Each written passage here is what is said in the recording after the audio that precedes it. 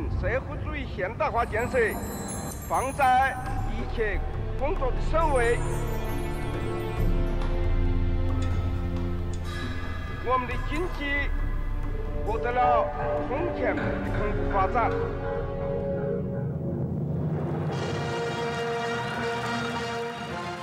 With the death of Mao Zedong, China sees the end of an era of controversy. After 30 years of communist utopia, 30 years of progress, but also of horrendous massacres, China is deeply scarred, but united.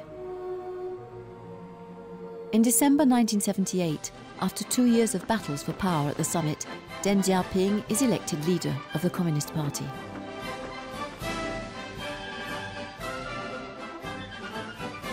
For China to emerge from the economic slump, Deng leads the nation into a new adventure. His aim is to open China up to the world and to market economy. Production rather than revolution, pragmatism rather than ideology.